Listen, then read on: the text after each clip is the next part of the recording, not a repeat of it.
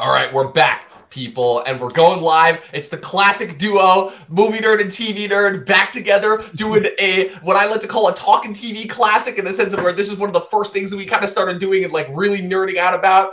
It's back. The cultural phenomenon that is Cobra Kai is back for its fifth season. Chris, you ready to get into this? Oh man, I mean, I cannot wait, dude. It's been a long time since we've done a pod together. It's been a, little while since we've had some Cobra Kai. So yeah, dude, let's uh let, let's hit let's hit this one. All of that and more on today's episode of the Talkin' TV podcast.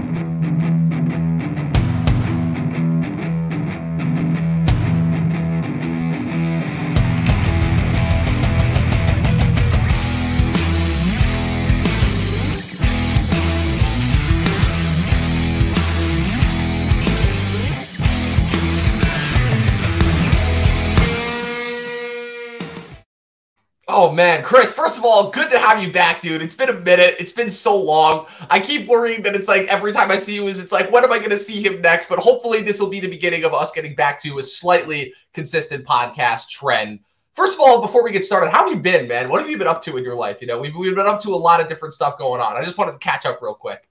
Sure, totally, man. Likewise, likewise. Um, yes, I'm I'm really hoping that this is the start of a return to form. Um, not only for myself on the podcast, um, we'll, we'll see if uh, Cobra Kai can return to form because after watching two episodes, I might not be the fan or over as over the moon as I might have been in previous years. Not to say I'm fully out, but I'm also not as fully immersed as I usually am when it comes to this show. But as far as life goes, um, what can I say? Uh, finishing up school, the final semester, um, the uh, quote unquote real world is just around the corner. We'll see what that means. And yeah, just just just doing an internship at a paper, doing journalism.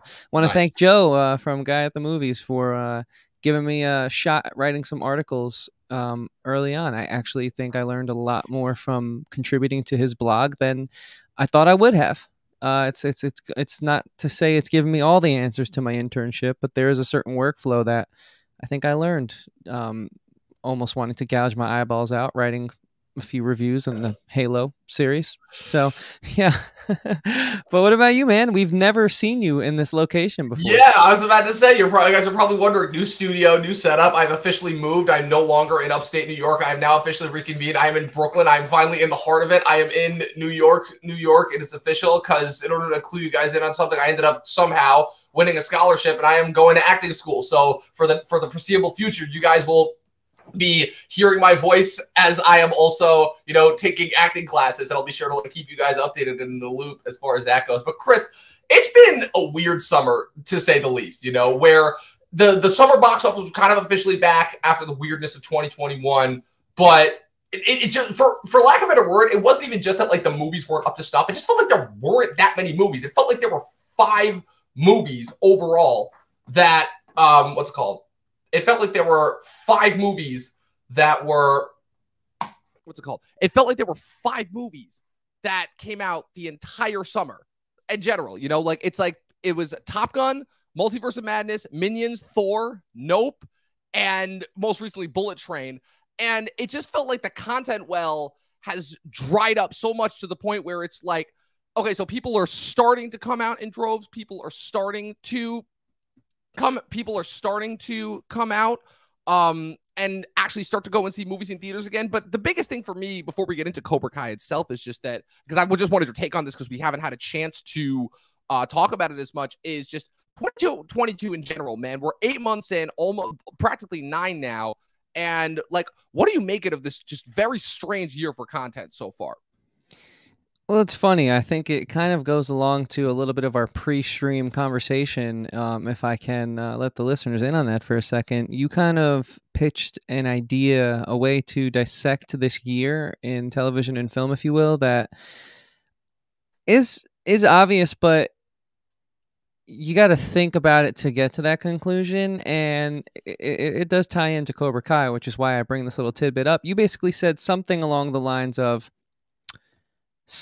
we're getting to a point where some shows we've been watching for a long time, like mainstays, are are are they starting to overstay their welcome? Should they start coming to an end? Is the excitement level not there as much as it had used to be. And I got to say, I think I kind of feel that sentiment, right? We had kicked around, along with Cobra Kai, which we'll get into in a few minutes here. What We Do in the Shadows is another contender for that.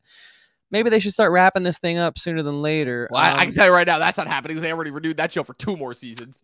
Right. And it's, again, it's one of those things where I think the critics align differently with the audience members because I think that that show's only growing in popularity. And I personally don't even think it's like hit its big mainstream stride yet. It's it's just it seems to be slowly growing more in a cult following with each season.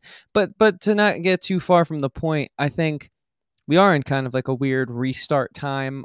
As much as I loved this last season of Stranger Things, I, I, I simultaneously felt like it was one of the most exciting and most boring seasons of television in the longest time. I think a lot of the reasons why I thought it was exciting was not just because I, I love playing, you know, my fair share of Dungeons and Dragons, uh, and I think they always honor that medium well, uh, one of uh, the classic tabletop storytelling mediums. But I just think it's like, was it the zeitgeist that pulled me in and got me so excited? Was it actually that good? And yeah, it was. It was. It was good. But I, I just, I don't know. I think if as much as I love Stranger Things, if it ended tomorrow, if they said, "Hey, no final season, we're kind of done," okay, I think that's cool because I don't want you to poison the well, if you will. Like it's it's of a certain level right now, but if we keep going, will we dilute it? And I feel like that's a lot of what's happening because on the flip side of the coin, to answer your question, this year there's so many new shows that I'm loving, and I just can't wait to get more of.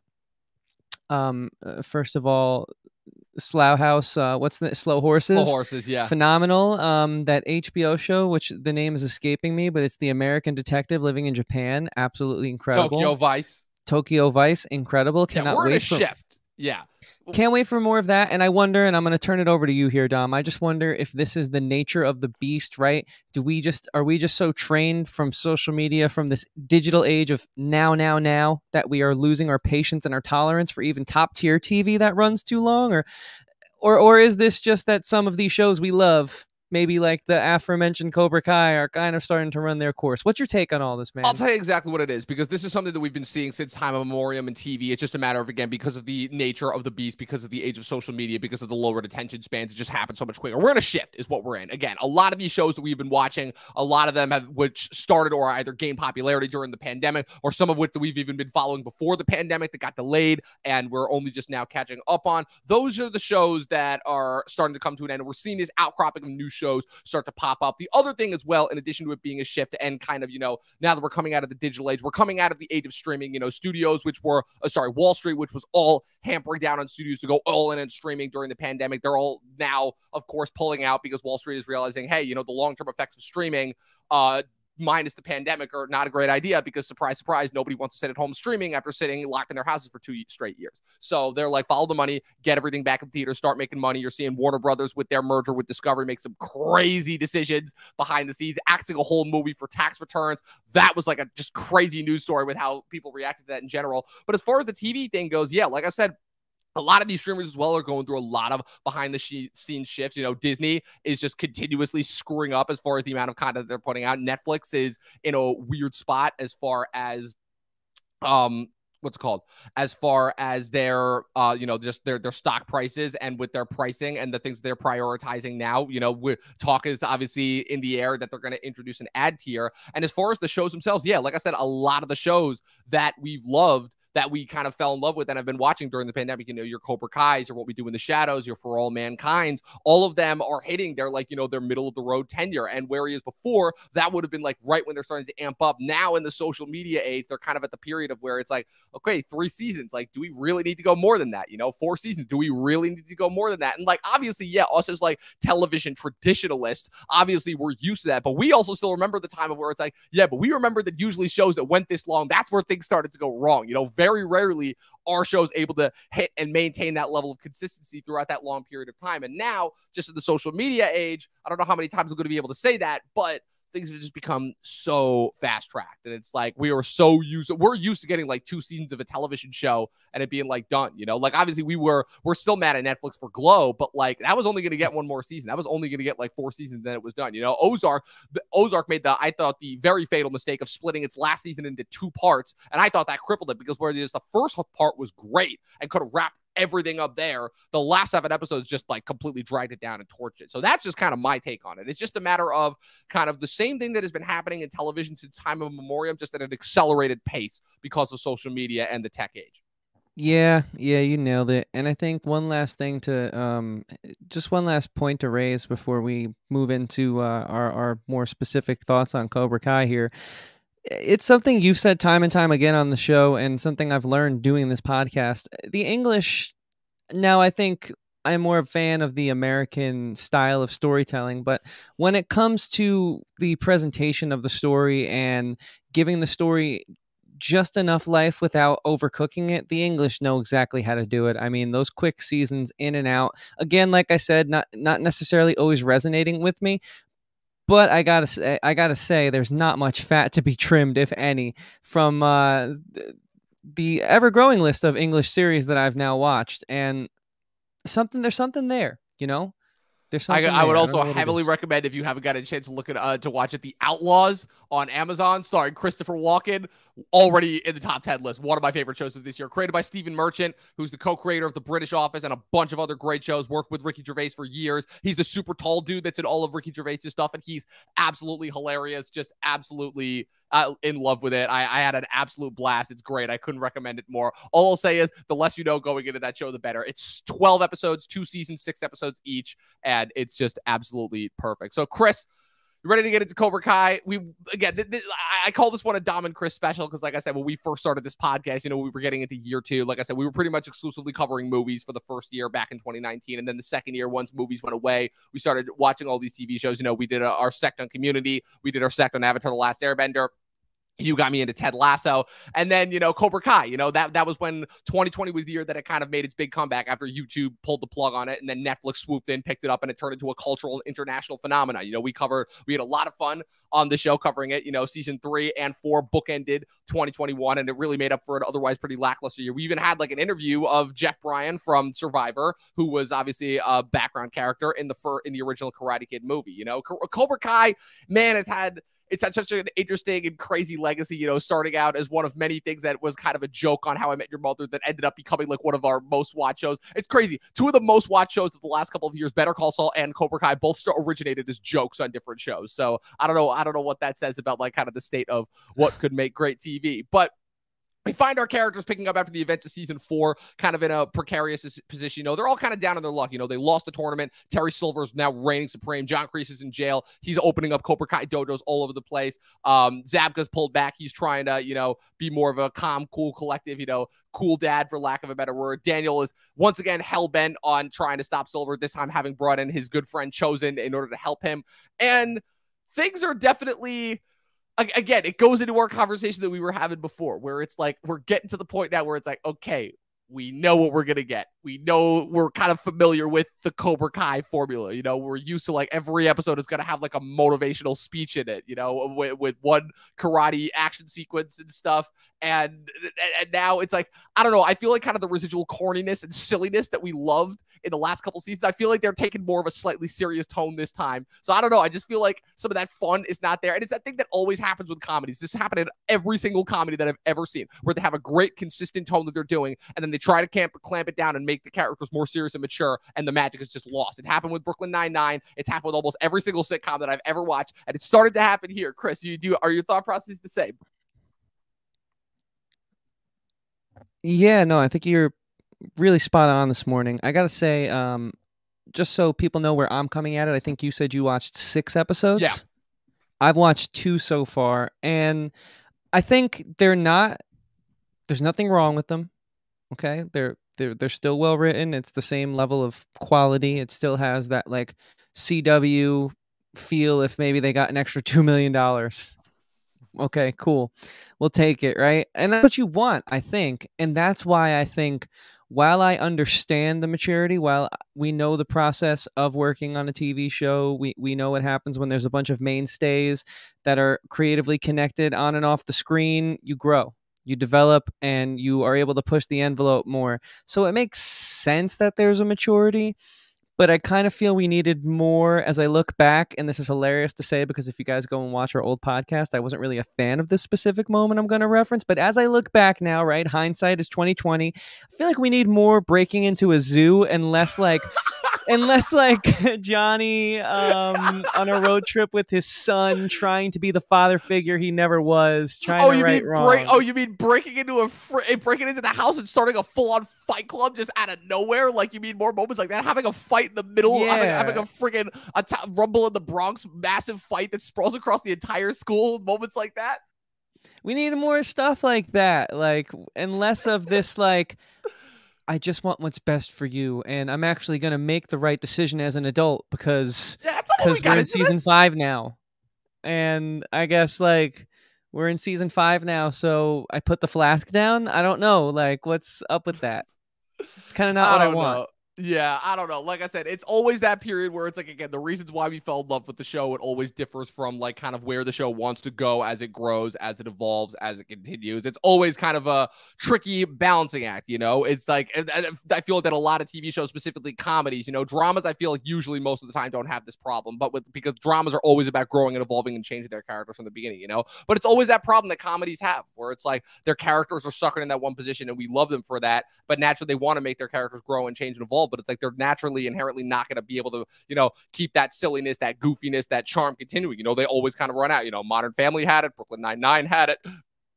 I think the only comedies, for me at least, the ones that like are really able to maintain that consistent tone throughout the end are the ones that like it takes a couple seasons for you to get into it. You know, that's just my take at least. Like my whole thing with Parks and Rec that I talk about all the time is it's like those first two seasons for me were painful, you know, or at least the first season and a half. Then season second half of season two, they started to find their stride. And then season three, they were ready to go and they were able to kind of maintain that consistency and that tone throughout the last couple seasons. So like, what do you think it is like about like comedies as far as like when they can hit their tone immediately, but then they start to fizzle out versus like they take a little bit in order to find their stride, then they really nail it. You know, like is that just like kind of nature of the beast, or is it is it a thing that's like inherent with comedies? Like what is it? So, I mean, I don't think it's just one thing.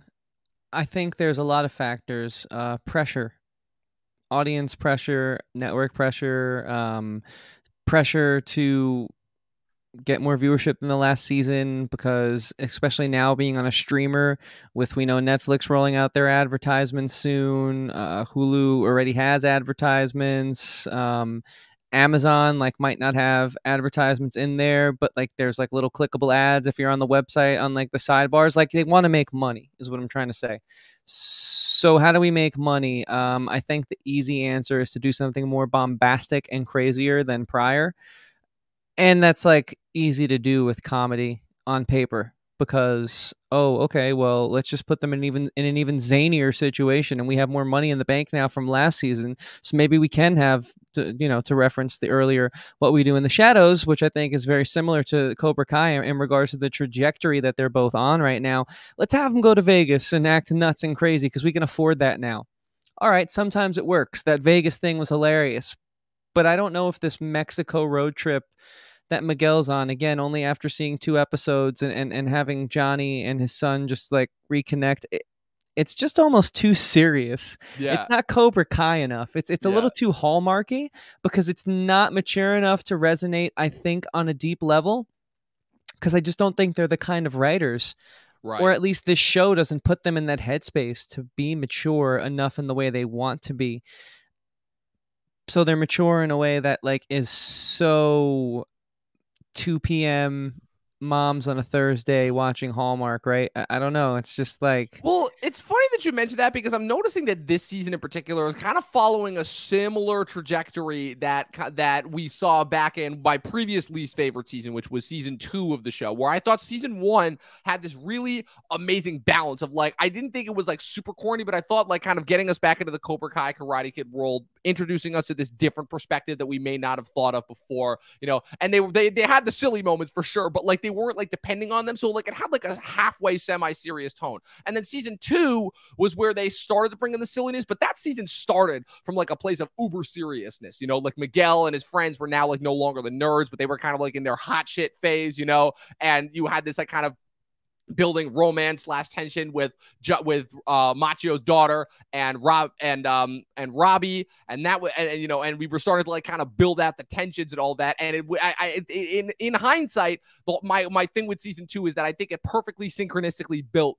to that final fight which from what I've heard about this finale, which we both have not gotten to yet, I've heard that it's going to get to this ridiculous thing that's going to end the season. Which I'm like, okay, if we if we can end on a ridiculous note, then uh, then I'm back in, you know. But I, I I'm finding it to be very similar to that, where it's like, okay, we kind of had the fun and games phase. We had the silliness phase. You know, Kreese came in, took Cobra Kai from Johnny. Then uh, Johnny teamed up with Miguel after the they were finally able to put their differences aside and they realized Kreese was a maniac. Then Kreese brings in Silver. Silver usurps. And this shit is literally a soap opera at this point. Like the, the, there's it, so much yeah. crazy shit going on. Well, that's what the CW has always been, right? right? Like Arrow, The Flash. It's just soap operas, but for like young boys instead of like young girls.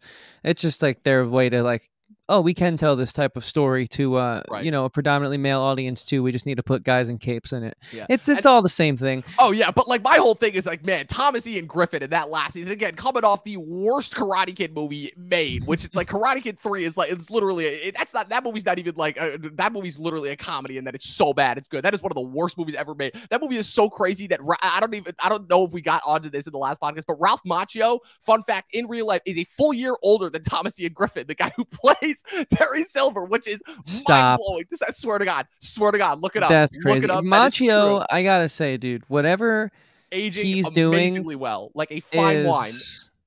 Yeah, yeah. It's like all Man those all those kids who are in the outs uh, uh, the outsiders. Yeah, they're like something something maybe, happened maybe, on that. Maybe, maybe, it was all of them, man. Because every single one of them, you know, every yeah. single one of them, you know. So, um, I mean, we haven't seen see Tom Howell in a while. Patrick Swayze, unfortunately, passed, but like we know Tom Cruise, we know Rob Lowe. We both uh, famously always say that they, they don't age. great. I mean, they for their age, great. yeah. Um, but hold up, though. I don't want to get too far from the yeah, point because you're raising great points, and I know it's been a while. We're having fun, but I do want to be serious about one thing.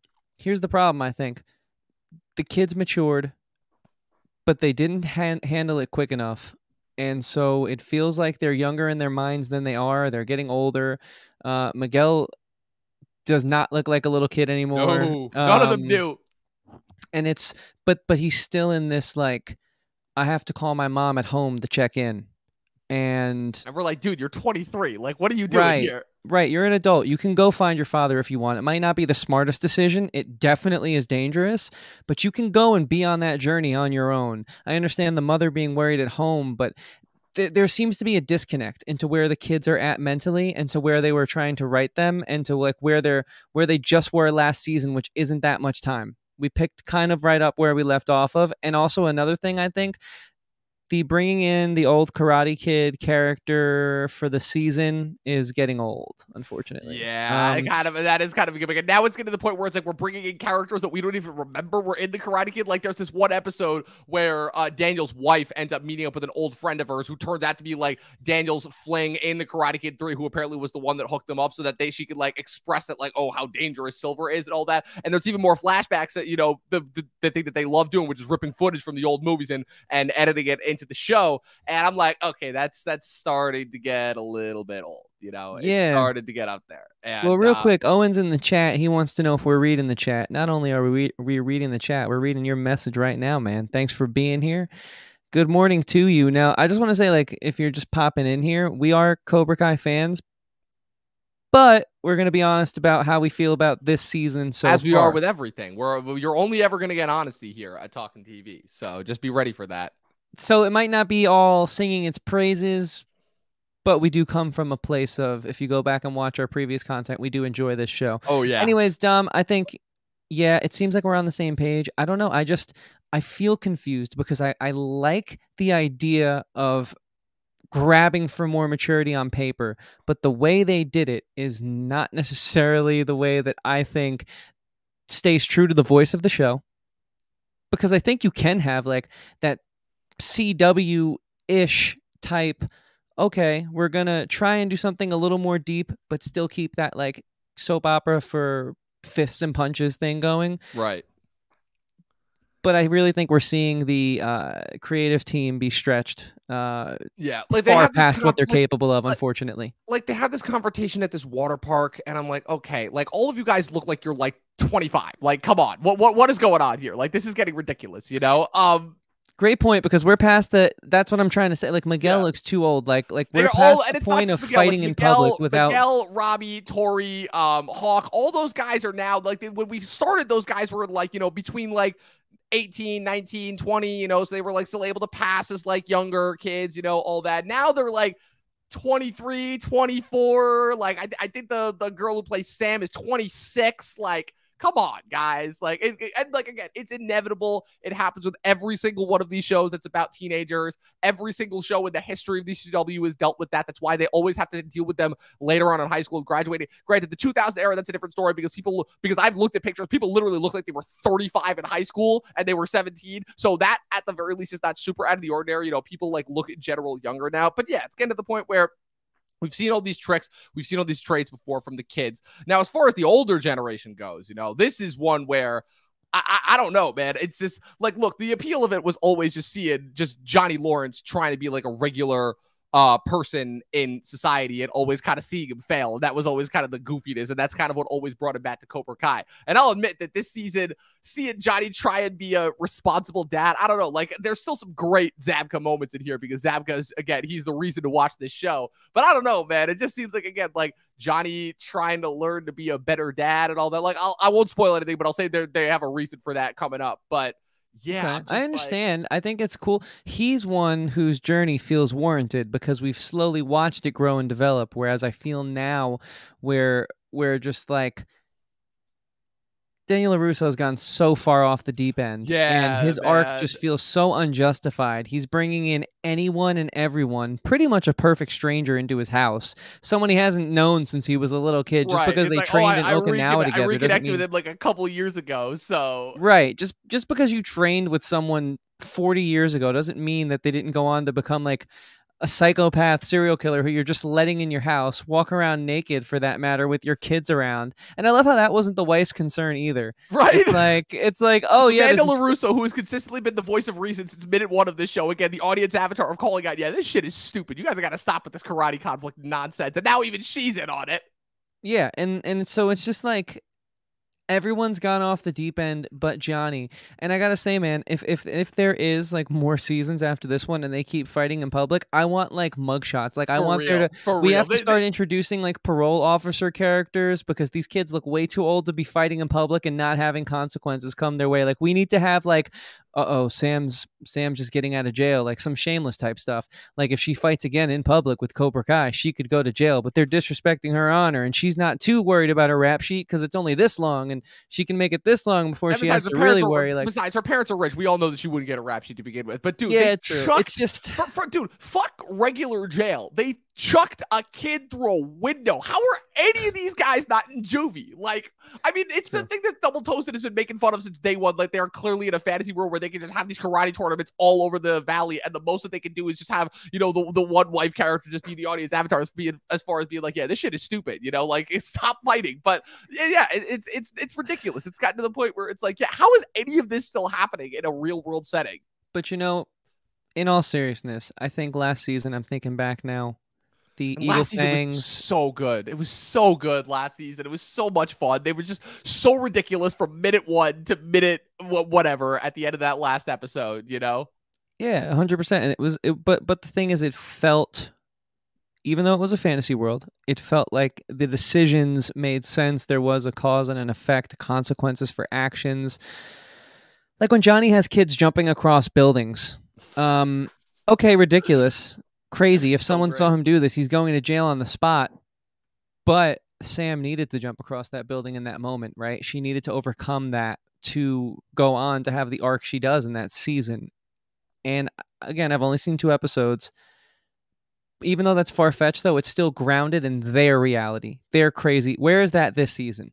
I'm not feeling that tether to some sense of normalcy, which I know, again, is not necessarily always there in Cobra Kai. But where is that to keep me on board with fighting these Australian people for some reason who are running this stupid scam right on the side of the bus stop? like, like where is the where is the okay, I can brush aside all that fun stuff and enjoy it because we're actually moving somewhere that makes me feel like this is worth the watch. Where is that right now? Do you Yeah. have that six episodes in? Um, kind of, sort of, but not really. Because here's the other problem from this season as well is that we have this thing that happens, and I feel like Game of Thrones kind of started this, which is where every other season is setting up for the next season, and this is a setup season for sure. Like you could very tell. Very easily and obviously tell as far as where it's going that it is setting up for both the, the finale and also the sixth and more than likely final season. Because from what I've I've done some reading ahead as far as what where the rest of the season goes, and what I will say from what I've read is that it is definitely setting up for another major confrontation that is going to happen in the next season, which they will more than likely will be renewed.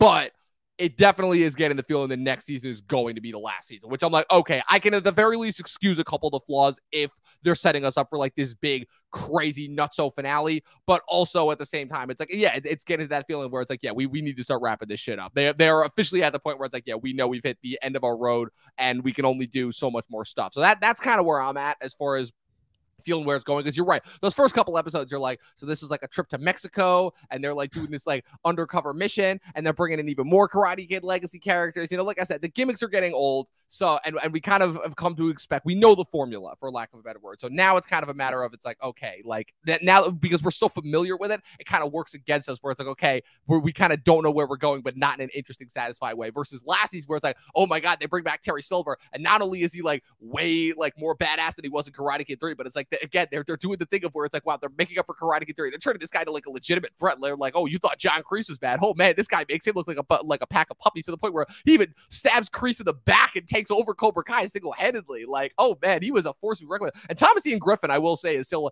an absolute joy to watch he's probably like because he's probably replaced zabka as far as my reason to watch the show he's just so like abhorrently evil in a way that Kreese was almost like cartoonishly evil in a way. I don't know. Like, what's your take on that? No, I think that's a great segue into like a different topic here because yeah, the performances are still really good. It's it's nothing against what the actors are doing. I think it's more so against what they're being given. And I think it's easy to sort of be critical on the performances because of how creatively intertwined we know that Zabka and Macchio are to this show. So it's like you're putting your heart on your sleeve a little more when you are not only the person on screen being the face and the star but also such a big part of running the show creating the like storyline Y- you know you kind of bear the brunt of a, a of a less well written season and you also get to reap the benefits of a more strongly put together season and i think that's why it's easier when it comes to cobra kai outside of it being so you know cheeky or um, just whatever it is that vein of like sort of like lower tier soap opera style tv outside of all that it's easier to i think be harder on this because of you know just the um The nature of The what level- kind of show it is. and and and and, and how in depth and involved the creators are and and and, and just because of how attached to it they are there, there's so many different facets where we can again sing their praises when it goes right but we can pick it apart when it goes wrong and this is just your classic example of i think you know because it's it's terry silver is is crushing it um you know ralph macchio is still interesting like i because he's given so many good performances in the past i just don't really believe where he's coming from right now and i think that um obviously johnny is johnny and he is the goat and i love him but i mean i just don't like where anyone's going and and and that's that's the the performances are great the kids honestly i really think have become good actors not they, not they, amazing They, have grown into their own. I, I- if you would ask me like a couple years ago which group of kid actors was going to like really grow into their own and become like good actors between Cobra Kai and Stranger Things, and you told me that I would have picked Cobra Kai over Stranger Things, I would have said you were nuts because like my whole thing is that like the Stranger Things kids, they're all great.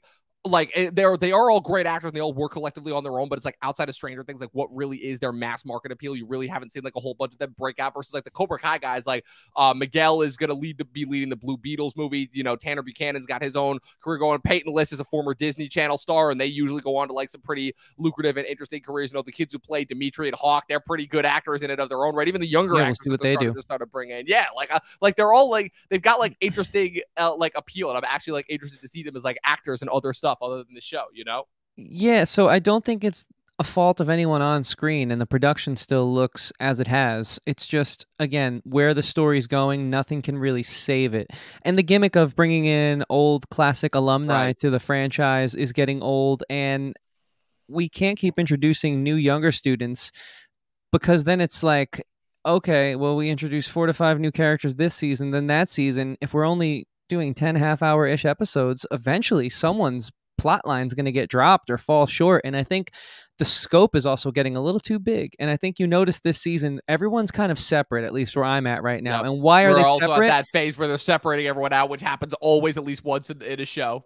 It's easier that way. It's easier to give yourself, bide yourself some time. Okay, we, if we can separate these guys, we know their stories are connected, so we can isolate them. So then we don't show the viewers over here how we didn't really think that these guys and these guys would ever come together. We were just kind of trying to make that season work, and now we're screwed because we have all these characters and all these moving pieces. And how do we make it work? And I feel like that's where we're at. You know, Yeah, no, I agree. I will say there's a couple of good things that I do like. I like, um, Uh, you know, Johnny kind of because a, a big arc that has been throughout the consistent show is Johnny kind of as trying to be this father fig- figure to Miguel, who has never really had that, while also, you know, kind of neglecting his own actual son Robbie, which is kind of why Daniel was able to step in, you know, and obviously everything that happened there happened. But now the fact that Johnny's like kind of accepting both Robbie and Miguel as his own and trying to have them make up, I think is really interesting. Also, I will say that Tori after last season, kind of, you know, once realizing what Silver did in order to ensure that she won the tournament, she's going through a little bit of a crisis of faith in of herself and realizing that she's not getting from Silver the same kind of relationship that she had with Kreese.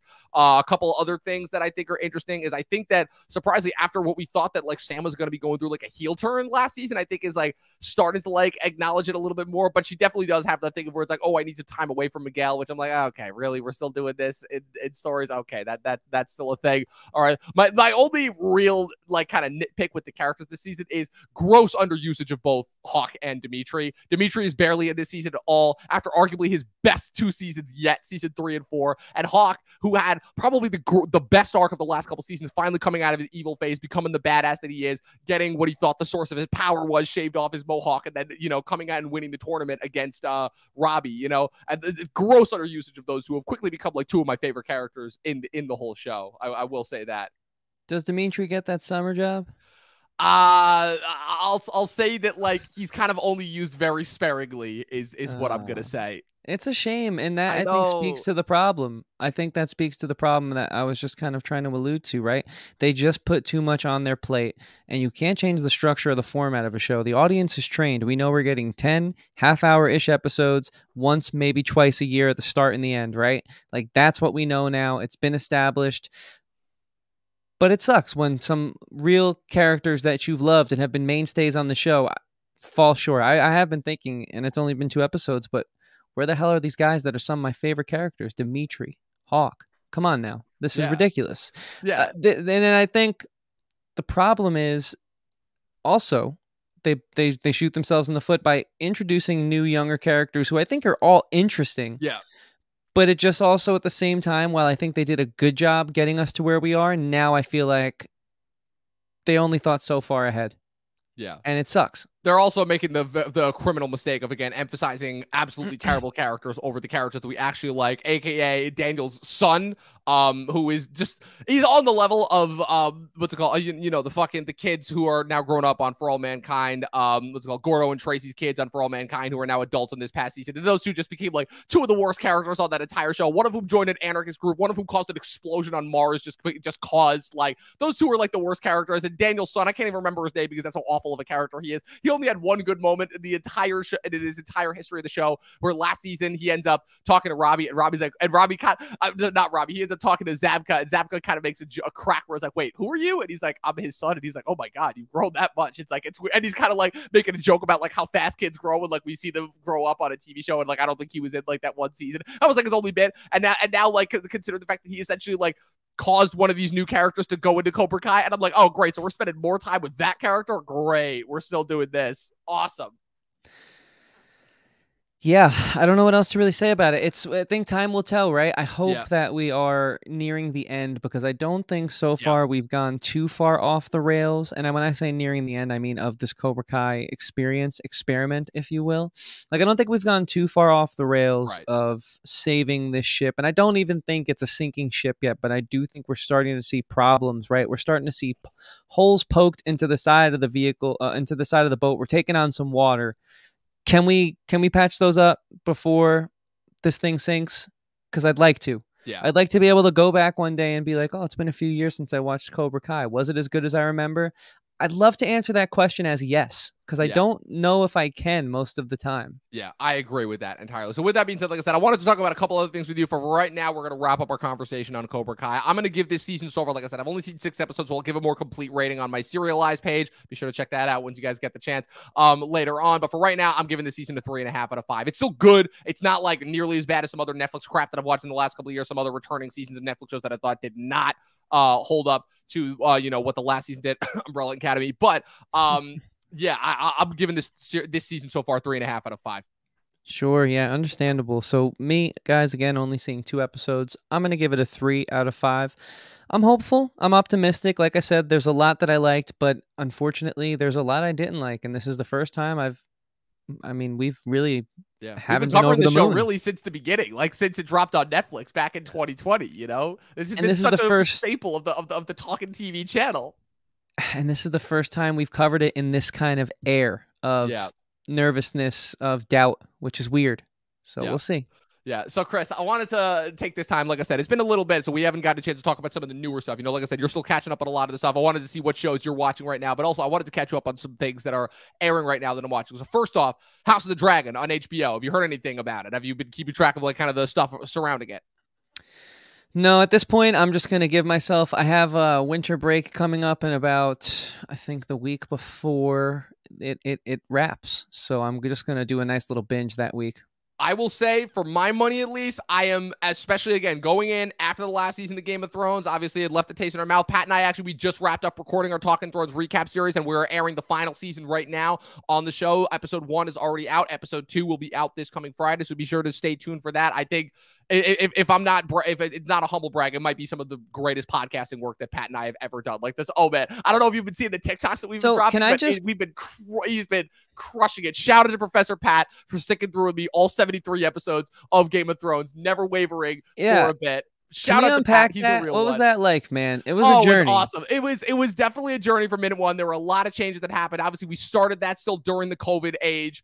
Um, you know, we were streaming it live to the channel. Then we just we weren't. I'll be honest, we weren't getting the views that we wanted, so we ended up kind of pulling it back, only putting it on audio form. We took a month long break at Christmas. We came back strong with season four, and we recorded all the way through up until the summer. Throughout the summer, we started batching the episodes because we just we wanted to get it over with.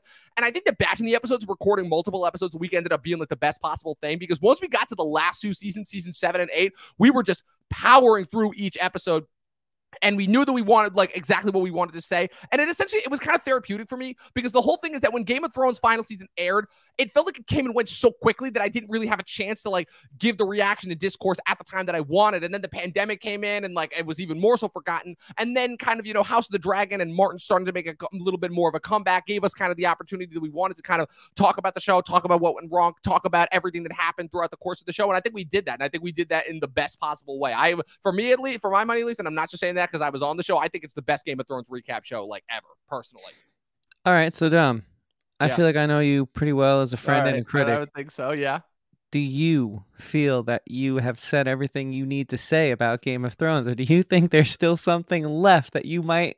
I mean, look, we're talking about me. I'm always going to find more stuff to say about things because that's just me. But as far as just getting it all out of my system, all the stuff that I've kind of been holding inside it since 2019, some of the, you know, some of the things that I wanted to say but couldn't just because I didn't really have like kind of the presence that I did back in 2019 that I do now. I definitely think I've gotten it all out of my system. Be like, okay, I've understood.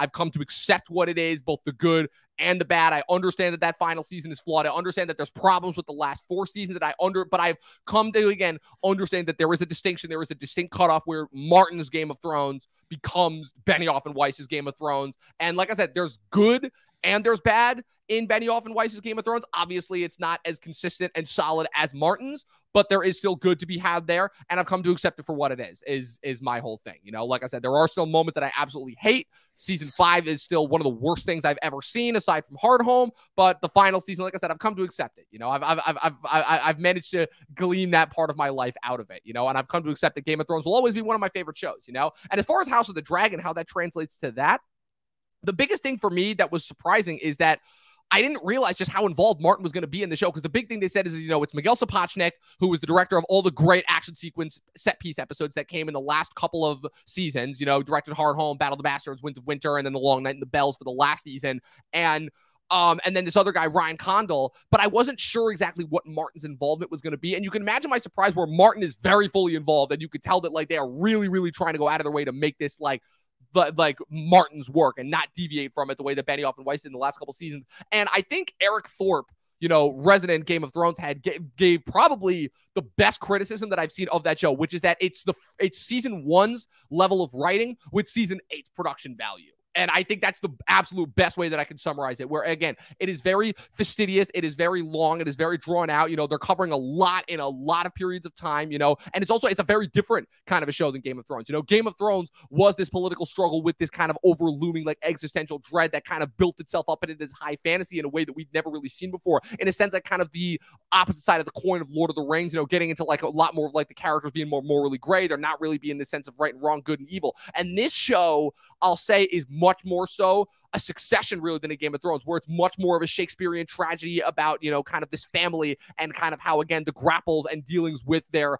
political um, standing is constantly at the detriment to their family. You know, where you have this, uh, you know, this divide between the current king Viserys, his daughter Rhaenyra, uh, Rhaenyra, and his brother Daemon, as well as all the other figures that are kind of in the high court. You know, trying to stake their claim. You know, uh, his hand, uh, his his master of ships, all that, and it's it, it's really interesting. I love the budget. I love the production value, and it, it's just it's good TV. It's really good TV. You know, it's kind of in a strength. I'm not exactly going to say that's like what Better Call Saul was to Breaking Bad, but it's almost at that level. You know, I'm three episodes in and I'm loving every minute of it. I, I was not at all expecting to enjoy it as much as I did, but I heavily, heavily recommend it definitely more so over these other two shows that I'm about to talk about because and I'm also well, real wanna, quick, real quick, yeah. real quick before we dive into um, these other two shows, I, I do want to know someone who has seen Game of Thrones twice, yeah. but it's been a while, right? Yeah. It's been a while since I've watched the show.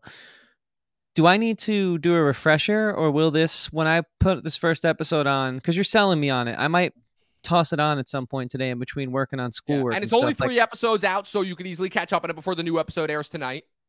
Like, will I be out of the loop?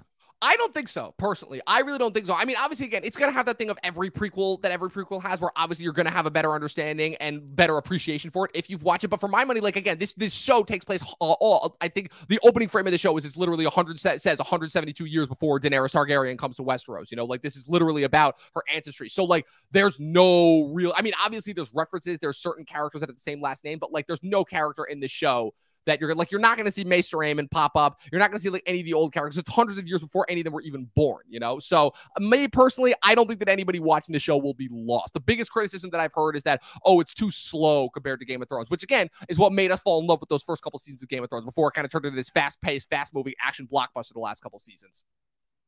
All right, good to know. Good to know. Yeah, keep yeah, you guys now, posted and you posted as well as I. uh Yeah, please do. I'm really that show of all list. the shows is the one that I'm really interested. In. Now, I want to talk about Lord of the Rings for a hot minute. I talked about it last week, obviously on the podcast with Eli. We kind of broke down, like I said, Eli's the big super Tolkien head, so obviously I wanted to get his perspective. But I'll say I've watched the first two episodes. I'm going to watch the third episode at some point, and what I'll say for my money is I think this is the one where I'm the most conflicted on because Amazon is once again showing just how absolutely petty they are because they literally started airing the show a week after House of the Dragon and they're kind of bookending each week. And I'm like, oh my God, Amazon, you are so friggin' petty. And what I will say is this is, as far as like kind of, you know, their fantasy shows that they are just putting literally all the money into, you know, Lord of the Rings is probably, I think, the most expensive television show ever made. I think they put like $750 million into this first season alone. Like, it's ridiculous ridiculous number. And I'll say that the money is definitely showing as the as as far as the effects go.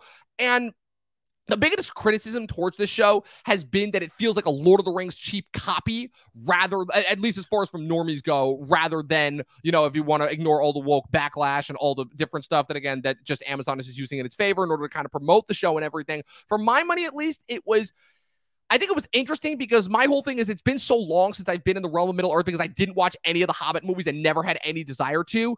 That I'll say that kind of them making it this more episodic story that's slowly unfolding. There's certainly there's elements I think that don't work, but for my money, I was actually very interested, and I'm actually kind of interested in where they're going, especially seeing how unlike House of the Dragon, this is very much so going to build into the Hobbit and Lord of the Rings because the what was so interesting about kind of Tolkien's works in general. And again, I know every Tolkien reader is going to hate me for this because they said they didn't get it exactly right. Is that Tolkien literally kind of envisioned this whole world and backstory in the creation of the ring in order to create this foundation for Lord of the Rings. And now that we're actually getting to like that was always kind of a micro nitpick that I had with Lord of the Rings, where it's like, okay, we have all this backstory that's given to us about the One Ring, all that stuff sounds so interesting and I kind of want to see it. And so it always felt like there was like a lot of stuff that was missing from the stuff that I was seeing in Lord of the Rings. Like there's so much lore, so much mystery, and so much backstory. And now we're actually getting that. And even though, again, it's not exactly like how it happened in the Silmarillion, like I said, it's adapted from the Silmarillion, it's based off the stuff going on in the Second Age. It's still interesting for me, you know, and I'm still interested to see where it goes. It kind of, you know, so that's why I can't recommend it as much as I recommend House of the Dragon. But for my money, it's still interesting, which is something that I can't at all say about The Hobbit, which is something that, again, should have been one movie, should have been one really awesome movie, and they stretched it out into three movies that ended up kind of wrecking it and destroying it. So I'll say that, again, if you don't hate Lord of the Rings, I don't think it's a must watch, especially since it already seems like kind of the air has already gone out of it because, again, they, I feel like they kind of shot themselves in the foot again, where as far as depending on all the woke backlash in order to try and promote the show, and now everybody's moved on, which is what happens every single time with this. Yeah, I'm going to watch it. I just, I was never the craziest about Lord of the Rings. Always loved it. Thought it was awesome. Right. But it always um, felt like just those self contained three movies. And it didn't feel like it needed to go on past that. And so the idea of them going into the lore, but that's where I'll say I'm surprised is that I didn't think I was going to have any more interest for Lord of the Rings, but I'm actually very interested. And I will say that I thought that the gimmick of like, oh, it's young Galadriel, it's young Elrond, I thought that was going to be annoying. And it so far surprisingly has not been, at least for me. You know, I've made my peace with everything must have a now um, larger cinematic universe with a plethora of content associated with it, even if I disagree. That's not my issue here. My issue here isn't the wokeisms or whatever. I've I've read articles and I've seen whatever. It just just whatever. But I think my real issue is can it live up to those movies? And I, that's yeah. why I'm afraid to dive and in. I, am excited right. to get back to Middle Earth. I miss it. I, I, you know, I always wanted more, but I thought that was the beauty of the movie is is the letting my young mind, a little kid mind who right. who loved those movies, just imagine what it was like right. out there in Mordor, past what I had seen. I don't and, know and if I actually need to see it. What I'll say is they don't I'll say for my money at least, I don't. I mean, obviously, again, it's like we, we Middle Earth has just such this distinct look that was established by those movies. But for my money, at least, I personally do not feel from this show, from these two episodes that I've seen, that they are trying to emulate Jackson. The show feels like its own thing while you still feel like you're in Middle Earth. And like I said, the other thing that helps too is you're seeing a lot of different regions of Middle Earth that you didn't see in those movies. But like I said, that that's going to be like a case by case basis per person. So you'll have to let me know once you actually watch that to see if you get that feeling. If if if um again if it can hold up because you're right like i said we even talked about this again for i feel like for a lot of people that are not like the diehard tolkien fans it's that lord of the rings was just those three movies and it feels like because they hit those three movies so hard it's like there was never really and return of the king was literally the ending to define all endings it never felt like there was a reason to kind of go back and explore more of that world you know? And so that's kind of what's going to be interesting for me going forward is exploring this different sect you know because it is very much a prequel. And now the last show i have to talk about it she Hulk, man. I, I, I got to talk about it for a bit, mostly just because, just in order to get you, you know, I, I haven't made a Facebook post in a while, but I did recently for this show because Marvel, right. as we know, has just been like they, they've been on such a downward spiral this year. Like I said, we covered a lot of their stuff last year. And for the most part, like I said, we, we could kind of see the writing on the wall as far as where it was going. And 2022 is just the self actualized realization where everybody is, for the most part, is just very disgruntled, very not happy with what they're getting. Like I said, Multiverse of Madness has gotten, you know, what it was. Love and Thunder was all but critically reviled completely. Uh, Miss Marvel, I didn't even bother to watch. Moon Knight's really the only thing that I've enjoyed from them. Even I had problems with them. But I started watching She Hulk because it came out a day after my birthday. So naturally, I had to watch it. And obviously, again, it's another thing of where it's like, okay, all of the, you know, all the usual uh tropes, problems, all the above are there as far as with Marvel and where it goes. But I started watching She Hulk the first episode. And this is the first time that Marvel has tried to like essentially like apply like a television approach where it's like, oh, it's more so just hanging out with your favorite characters each week. There's not really an underlying plot that's driving the trajectory of the show. It's more so the uh, I, I the, the best way that I can pitch the show is it's literally like, oh, She Hulk trying to get a date because she can't get a man and all, all that usual nonsense. And I can safely say that this is the worst thing that Marvel has ever made. Oh my God. Every single thing that we thought was bad from them last year, this takes the cake. It is the single worst, most garbage thing the creators and writers have actively talked behind the scenes about how little thing they actually had, how there essentially is no plot, no story that they have to work with. Chris, the CG in this show, it is somehow worse than in the trailer. The last episode literally had her twerking with Megan Thee Stallion. That is actually the stuff that is happening in this show. This is the single worst thing that Marvel has ever put out. But but there's one caveat to that. There's one caveat to that. And I feel like only I can have this opinion because this is literally what I posted on my Facebook. I said this is literally the worst show I've ever seen, and I can't stop watching because it's one of those things where it's almost to the point of so bad it's good. Because I think Marvel under because I think what happened was is Marvel and Disney Plus understood that they had a bomb on their hands and doing what they usually do. They are just running with it, and I I'm having a blast watching this show. It is this is the first show in a while where I'm like, this show fucking sucks every single week, and I'm having so much fun watching it. It is so bad, it is entertaining. That is all that I can say about it. And literally, and just to read you some of the comments on it, uh, literally one of my friends commented, uh, it just jokingly is like, why do you hate women so much? And the other thing that one of my other friends commented was, see, this is an opinion I can trust, and I'm like, I still got it. I still got it. Oh god! So basically, this is a show that I'll never watch. I, I, don't want anything that comes along with what you're saying. I oh, don't want any part of it. So stupid though. It's so I'm, I'm giving this show a shout out. I and again for everything. Are you gonna stick with it? Oh yeah, I have to. I'm too far in at this point. I'm four episodes in. I have to at this point. Well, because think about it this way: every everything that Disney has given us so far this year, Book of Boba, Obi Wan, Miss Marvel, it's just been bad. It hasn't been, it, it isn't even like the semi good with some good stuff, but like for the most part, just kind of inconsistent with like the stuff that we got last year or the last couple of years. You know, everything we've gotten this year, with the exception of Moon Knight, has just been awful. Book of Boba Fett sucked. Obi Wan, I couldn't even finish. Miss Marvel didn't even want to watch. But this is the first thing that I've seen from them where it's like, okay, it sucks, but at the very least, it's entertaining. And what I will say though is I I'm hoping that this is going to be the last thing that we get from them that's bad because the next slate that they've got coming out, you know, between the stuff that we know that's coming out for the rest of the year and or and then their batch of slate that they release next year. But I'll say this: they uh, yesterday was D23 and they just released their um what's it called their trailers for some of the stuff that's coming out. And I gotta say, between uh, Star Wars and Marvel, Mando season three and Secret Invasion. Won't know how those shows actually go, but as far as based off those trailers, those shows both look fantastic. Like Mando season three looks unbelievable. Secret Invasion looks unbelievable. Andor, I even said it from the beginning. That trailer was like one of the best trailers that I've seen in a while. I'm so looking like, forward to Andor. Hopefully, this is the end of like kind of that crappy, you know, kind of not really being able to do anything because of pandemic time, and we can actually start to get back to some good stuff. I'm hoping, you know. One could hope. Uh, I don't know quite what else to really. Yeah, it's Disney, so who really knows? But like, like I said, I, I, swear to God, like this whole this whole last episode was literally a court case involving a magician sending a drunk, as I call it, a woo girl from How I Met Your Mother to Wong, and Wong attempting to serve him a cease and desist. That is actually stuff that is happening on this show. I, I I wish I was making this stuff up. I really do. And the next episode, they're bringing in Daredevil, and I'm like, look, everyone's so excited to see Daredevil back. He's coming back in Echo, and he's getting his own show. They got got Charlie Cox back from Netflix, and we get to see him in this crap. Wonderful. Like, oh man. Yeah, yeah. It, I don't know.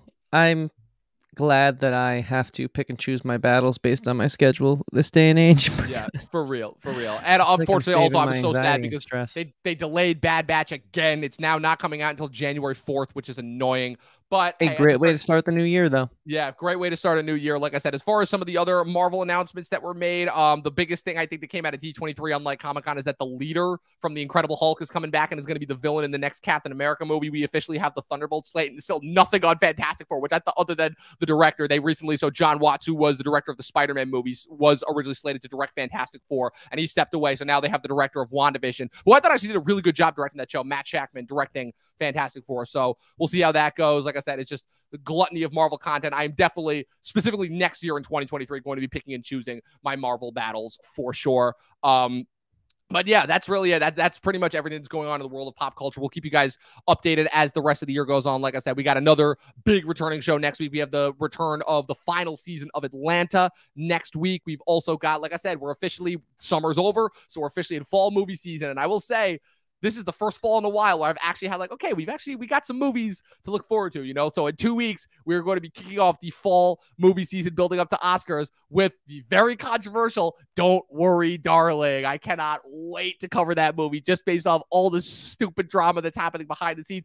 Did Harry Styles spit on Chris Pine or Olivia Wilde and Florence Pugh feuding? Who knows? But it's all going to be covered right here on the Talkin' TV podcast. Chris, it's great to have you back, man. Where can the good people follow you on the interwebs? Yeah, no, guys, uh, nothing's changed. Even though a lot has changed, uh, my handles remain the same. Uh, you can find me at Christian Evanko, E V A N K O.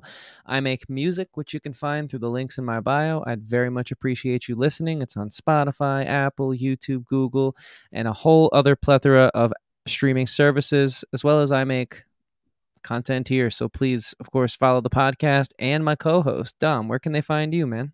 At Movie Nerd Reviews across all platforms. Be sure to follow the official Talkin' TV podcast across all platforms. We go live once a week on Sunday. Like I said, now that Talking Thrones is coming to an end, we will definitely have some more content for you guys coming out. Like I said, I've got a couple things that I've been working on behind the scenes as well that I just haven't had time to finish because of the move. But the third annual Talking TVs will be out within the next couple of weeks, probably sometime around closer to the Emmys. The Emmys are actually airing uh, tomorrow night but I will be sure to get that out sometime as well. And as well, I also did a Kubrick rewatch over the summer, of which I'm doing a video for that I'm very, very much looking forward to. So be sure to stay tuned to that, and also be sure to stay tuned to our TikTok. I I'm going super hard on that, and I I, I will say that, like I said, people seem to like our content. I've started posting some clips from Talking Thrones on there, some very entertaining stuff. If you like Professor Pat's dry sense of humor, I would heavily, heavily recommend going on and watching that for sure. All of that at our handles at official Talkin' TV podcast across all platforms. You should subscribe on YouTube, follow us on Twitch. New episodes are on Spotify and Apple Podcasts every single Monday. And as always, people,